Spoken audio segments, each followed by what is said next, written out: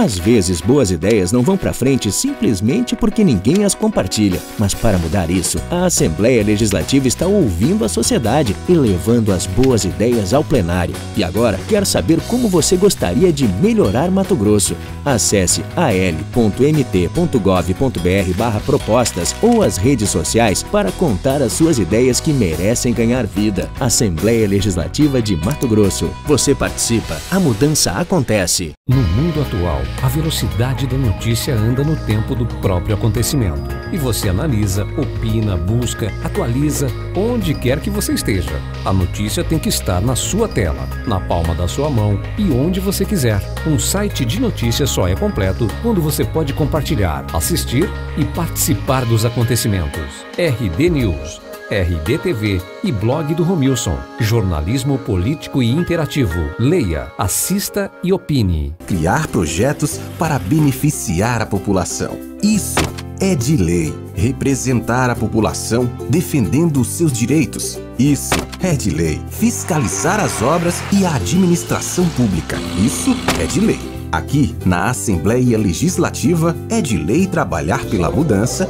e pelo bem do cidadão. Conheça mais o nosso trabalho pelo site Assembleia Legislativa. Você participa, a mudança acontece.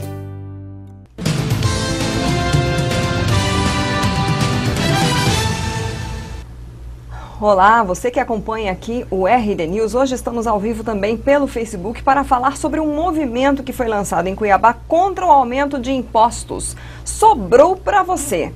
Este é o lema. Nós ouvimos hoje Júnior Macanhã, que é um dos representantes desse movimento. Júnior, obrigada pela sua presença aqui no RDTV. Vamos falar aí para o pessoal do site. Como é que surgiu a ideia desse movimento? Olá, Lídice. Olá, internautas.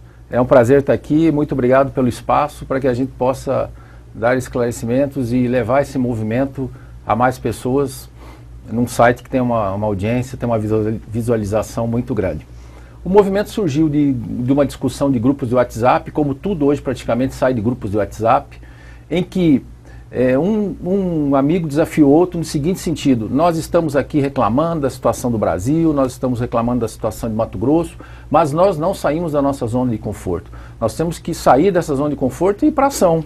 Porque grupo de WhatsApp, todo mundo reclama, mas nada, nada adianta. Então é, fizemos uma reunião, nos reunimos, vários amigos do, do grupo é, chamamos mais pessoas, cientistas políticos, médicos, advogados, servidor público, chamamos um grupo grande de pessoas, convidamos algumas agências de Cuiabá para participar desse movimento, para que a gente pudesse, pudesse ter uma visibilidade maior. E a partir daí surgiu a ideia do Sobrou para Você de uma dessas agências. É, sobrou para você por quê? Porque na realidade o movimento visa conscientizar a população de que é sempre ela que paga a conta. Apesar de que muitas pessoas falam, ah, eu não pago imposto, porque tem a ideia de que só paga imposto quem tem um boleto para pagar imposto. E é muito pelo contrário.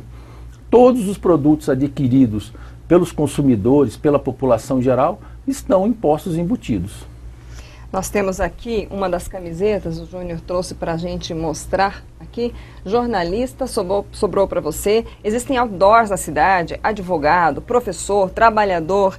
É, vocês têm à disposição é, todo esse material para quem quiser aderir ao movimento? Então, movi é, é no, no, site www.sobroupravocê.com.br todas essas mídias estão disponíveis. Inclusive as pessoas dos outros estados que nos estão nos assistindo, do interior. A, nós tivemos a adesão da OAB na, na última semana, inclusive numa reunião do Conselho Estadual, e muitos dos advogados já levaram é, esse movimento para as suas cidades. Então, assim, a pessoa que quer participar, entra no site www.sobroupravocê.com.br, pode imprimir o seu cartaz na sua cidade, pode imprimir seu outdoor. O importante é a participação e levar para a população essa conscientização de que, na realidade, quem sempre paga a conta é ela. No site, vocês têm ali uma assinatura para um manifesto. Qual é o conteúdo desse manifesto? Para onde ele vai? O manifesto está disponível no site. A ideia é, ao final, quando colhermos um número expressivo de assinaturas, levarmos esse manifesto para um grande fórum com intelectuais, com economistas e propor ideias para a nossa bancada estadual, nossa bancada municipal e a nossa bancada federal. Na realidade, a gente quer ter influência, quer mostrar para os nossos administradores públicos de que a sociedade está exaurida, a sociedade já não aguenta mais pagar essa conta, nós não aguentamos mais aumento de impostos. Nós tivemos ultimamente o aumento de PIS/COFINS. Ah, Lídice, mas eu não tenho carro, não reflete em mim. Muito pelo contrário, o preço do frete vai aumentar e, consequentemente, o preço dos produtos do supermercado também aumentarão. Quer dizer, é menos produto no carrinho da dona de casa a partir do momento do aumento desses impostos. O governo federal sinalizou com uma nova alíquota de imposto de renda de 30% e 35%. A repulsa da sociedade civil foi tão grande nas mídias sociais que o governo retirou. Então, isso é um exemplo de que nós, sociedade, temos força. Basta nós tirarmos, é, a nossa, sairmos da nossa comunidade e começarmos a agir. E esse manifesto sobrou para você é uma ferramenta justamente que visa fazer com que a população seja ativa e participe. Seja ativo e participe, discutindo com seus vizinhos, discutindo com sua família, discutindo com seus amigos, todo esse momento de país e e mostrar a sua indignação de que não aguenta mais pagar a conta do que vem ocorrendo em todo o nosso estado, nosso país. Nós também é, pegamos ali no, no site, no, no site existe o impostômetro né, do Brasil e de Mato Grosso. A nossa intenção era colocar ao vivo, porque ele fica o tempo todo é, é, atualizando, né? Mas aí nós não, não, não, tivemos como fazer isso, mas eu fiz aqui um print logo cedo para a gente ver como é que está em, no Brasil e em Mato Grosso. Isso daí você pode acompanhar, esses números eles ficam girando. Então você vê aí o impostômetro Brasil, ele chega a mais de 1 trilhão 490 bilhões 714 milhões e lá vai outras coisas é, é, no Brasil, né, de impostos arrecadados. E isso daí foi agora de manhã, por volta de 8 horas, a gente fez é, essa imagem, esse print, e essa outra de 17 bilhões é a arrecadação de Mato Grosso, 17 bilhões 626 milhões. Júnior, é, esses dados são dados oficiais, né? Como é que vocês avaliam essa questão de, de, de, de impostos que estão sendo arrecadados e a aplicação desses impostos na, no, para, para o bem social? É, esses dados são direto da Receita Federal e da Secretaria uhum. Estadual são dados Fazenda. Oficiais, são dados oficiais e que eles são. Pessoas. Quem entrar no site vai perceber que eles são atualizados segundo a segundo, porque uhum. na realidade toda hora pinga imposto na conta do governo estadual, federal, municipal. E o que nós vimos é que é, a previsão, por exemplo, orçamentária do Estado de Mato Grosso esse ano era de 18 bilhões. Nós já vamos atingir os 18 bilhões aqui praticamente em meados de setembro. Então, é, o que, que a gente sente? Que tem espaço para que essa carga tributária não seja elevada e que, inclusive, ela seja discutida até para ser diminuída. Porque que nós acreditamos? Que o cidadão ele é muito mais capaz de gastar o seu dinheiro do que o Estado, como eu falo, Estado como ente, federação, municipal ou estadual, é, tem muito mais capacidade de saber como aplicar o seu dinheiro do que o Estado tem demonstrado como ele tem aplicado o dinheiro do cidadão. Uhum. Então, na realidade, assim, mais dinheiro no bolso do cidadão e menos dinheiro no bolso do Estado. O que na realidade nós precisamos é de menos impostos, menos Estado, mais emprego e mais liberdade.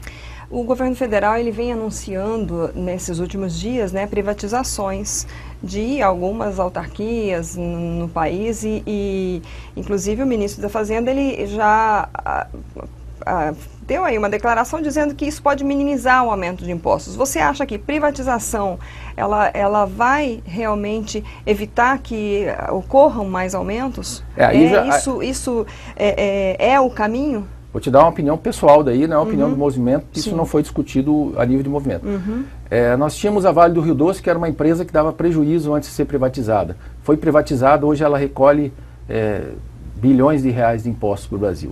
Nós tínhamos a telefonia que foi privatizada, que antes praticamente para ter um telefone, um telefone fixo, você entrava na fila e demorava anos para conseguir o telefone era e era caro. caríssimo. Uhum. Hoje nós temos a qualidade de primeiro mundo na telefonia? Ainda não, mas nós temos a certeza que melhorou muito. Nós temos a empresa Embraer, que foi privatizada e completou 50 anos agora. A Embraer hoje é uma referência mundial de aviação. Então, na realidade, o que vem demonstrando isso? É que o Estado é mau gestor, porque ele dá prejuízo, e esse prejuízo, quem paga, na realidade, são os impostos que nós pagamos para o Estado. Então, nós acreditamos que essa privatização, além de oferecer um serviço de melhor qualidade, ela vem trazer é, essa diminuição realmente da carga tributária. Pode ser que venha trazer. Nós esperamos que o governo realmente faça isso, até porque não vai mais ter o prejuízo que ele tem com todas essas estatais que nós temos hoje no país. Você, como é que está a adesão desse movimento aqui no Estado e fora do Estado? Vocês acompanham isso, sabem em que, em que número está a, a, a, é. estão as assinaturas do manifesto? Hoje o manifesto já conta com praticamente 20 mil assinaturas e eu quero convidar todos para entrar lá no site sobroupravocê.com.br, faça a sua assinatura, compartilhe no Facebook, Instagram, nós temos as mídias sociais. É muito importante a adesão das pessoas, de toda a população, para que é, nós possamos ter o maior número de assinatura e na hora que nós sentarmos com quem realmente de fato tem o poder, nós tenhamos força para reivindicar o que seja de melhor para a população. Nós temos aqui, é, além do, do, do, bom dia do Jackson, que nos deu um, um, alô aí pelo Face, dois comentários de um internauta, Jean Paulo Borsatti, é, dizendo o seguinte: não vejo é, o povo já na rua pedindo a saída desse presidente.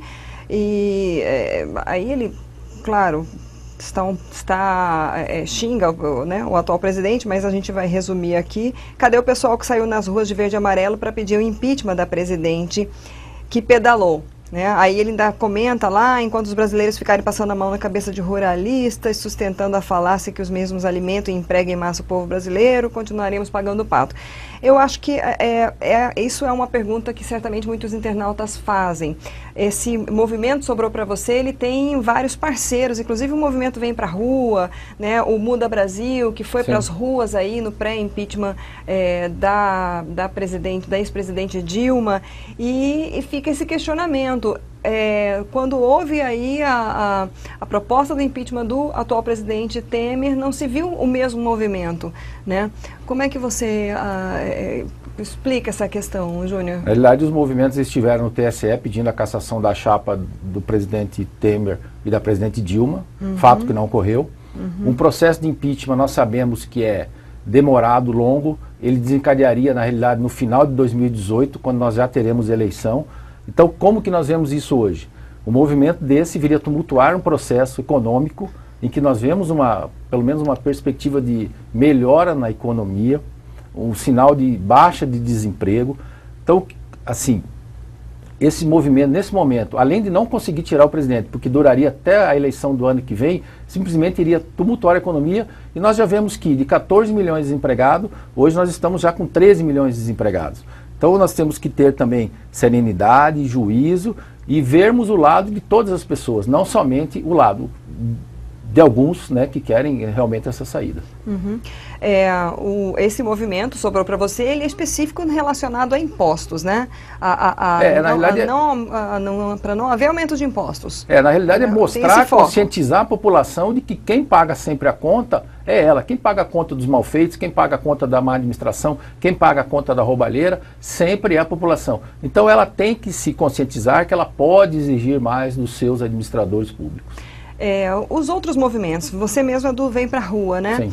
É, como é que está sendo a mobilização em nível estadual, por exemplo, diante das últimas denúncias que ocorreram aí, que está em, saindo todos os dias, Mato Grosso saindo no Jornal Nacional, com denúncias né, de políticos e autoridades, é, isso denúncias vindas aí da delação do ex-governador Silval Barbosa de, de recebimento de propina, de corrupção. O movimento ele está acompanhando isso, ele vai, ele está pretendendo fazer alguma ação, é, é, porque já, já há um movimento também, inclusive, de, da Câmara Municipal, está querendo que o prefeito, o atual prefeito, se renuncie. Como é que vocês estão é, o, o, o momento, Lídice, é de muita serenidade.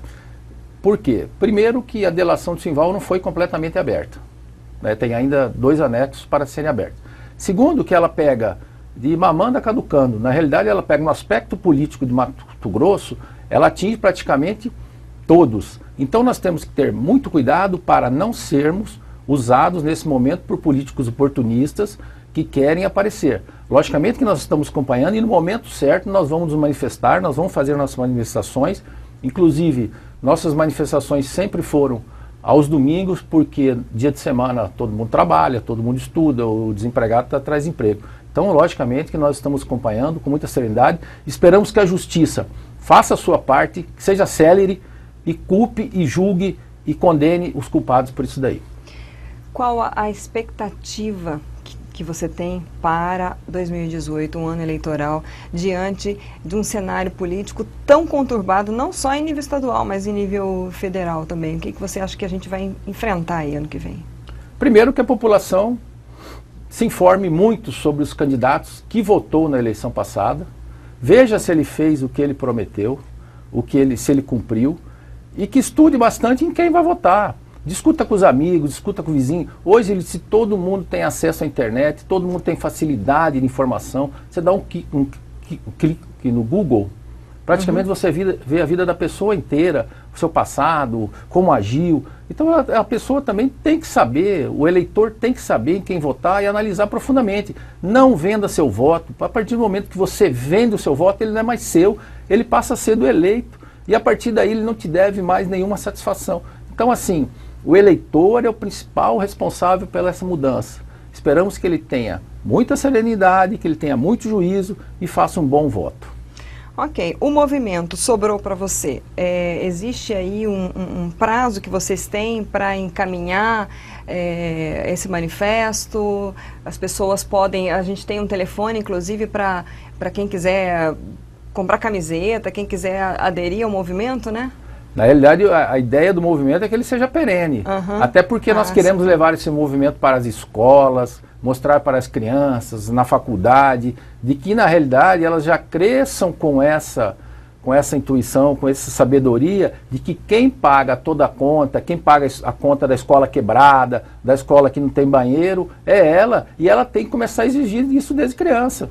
Né? Então, na realidade, assim, a ideia é que o movimento seja perene e que o movimento perdure. A gente está é um tá movimento... vendo aí, inclusive, algumas das, das das artes, né? Que é. vocês têm lá no site, a gente buscou lá. Dá até para fazer. A pessoa que se, se, ela quiser colocar o nome dela, ela pode pegar com vocês essa arte e colocar Não, ali, essa né? arte está disponível no site. Uhum.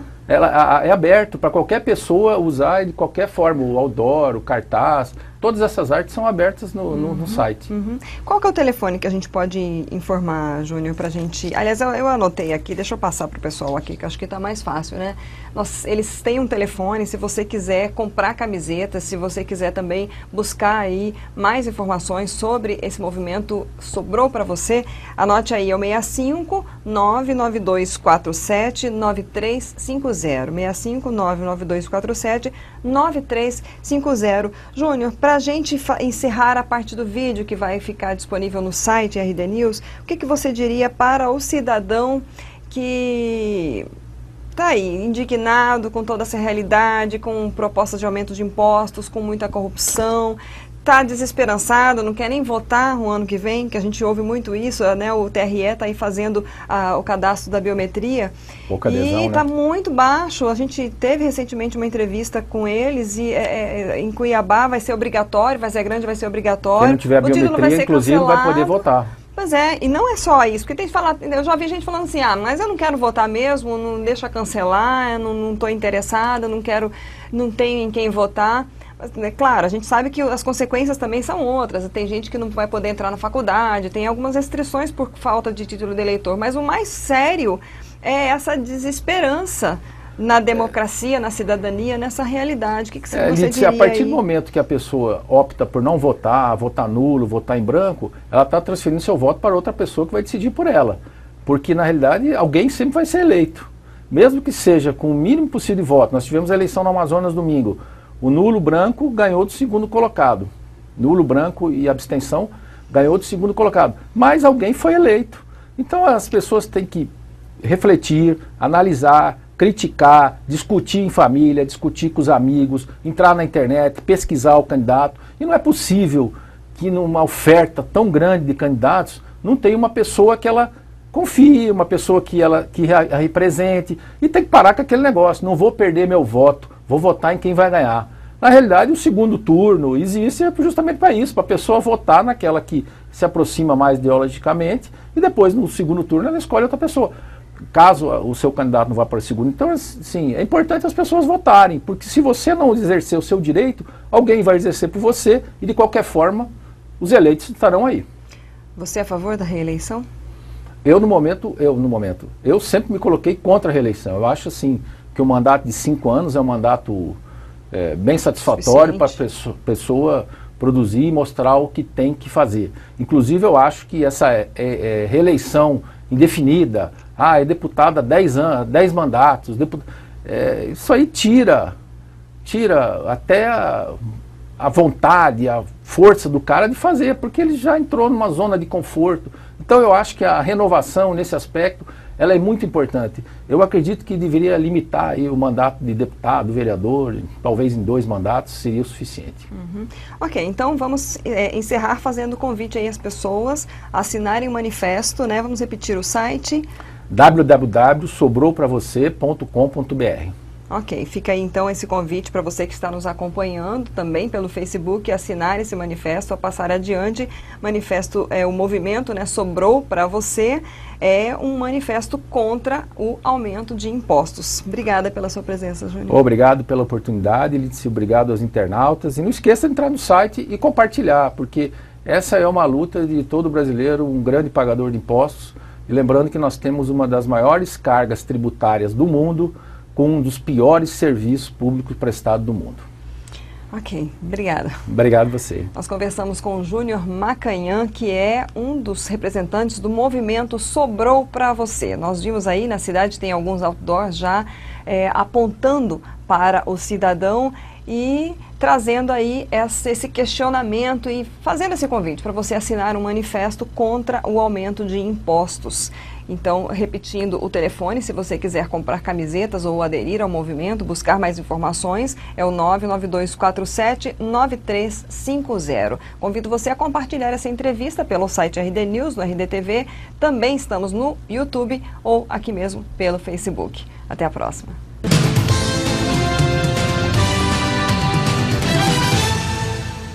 Mais do que resultados, a tranquilidade do dever cumprido. Mais do que estatísticas, felicidade nas pequenas coisas. Mais do que empreender, fazer do mundo um lugar melhor. Baixe o modelo de balanço social, preencha e envie para Assembleia Legislativa de Mato Grosso até 31 de agosto. Certificado de Responsabilidade Social de Mato Grosso. Simplesmente mais que empreender. Assembleia Legislativa de Mato Grosso.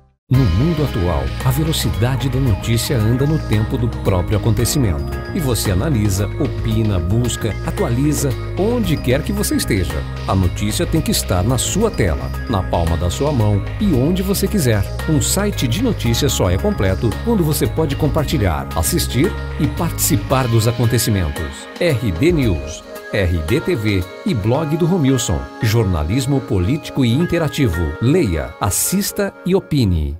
Educação Legislativa em Movimento.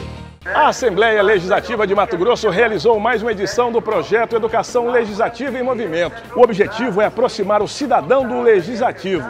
Vamos acompanhar o que esses alunos estão aprendendo aqui hoje. O importante de um projeto como este é colaborar para que sejamos um cidadão de bem não só hoje, mas como amanhã também. Reforçou o conceito de democracia, de política, que como jovem, como cidadã, eu preciso ter, além de conceitos de sustentabilidade pelas condições que o nosso planeta se encontra hoje.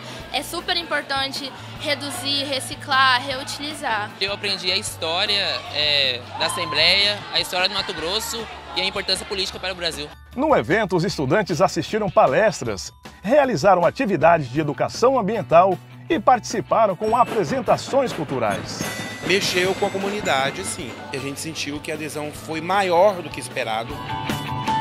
Assembleia Legislativa. Educação Legislativa em Movimento. A juventude representa o futuro da nossa democracia. Por isso, a Assembleia leva às escolas o projeto Educação Legislativa em Movimento. Nessa edição, visitamos Vila Bela da Santíssima Trindade, um município rico em história e cultura. A gente percebe o quanto que isso tem aumentado, ampliado o conhecimento né, é, dos alunos e tem despertado neles também o grande interesse para a diversidade de assuntos que foram tratados nesse, nesses dois dias aqui na nossa escola. Foi interessante, foi divertido e motivante nacional para todo mundo. O povo de Vila Bela nos recebeu de braços abertos e participou das diversas atividades oferecidas, como o teste vocacional, estudos sobre a história da cidade e do parlamento, oficina de reciclagem, entre outras. A imagem que fica é uma imagem positiva de que a Assembleia cumpre o seu papel no seu dia a dia e também que eles ganham conhecimento e, e junto com o conhecimento, cidadania. Assembleia Legislativa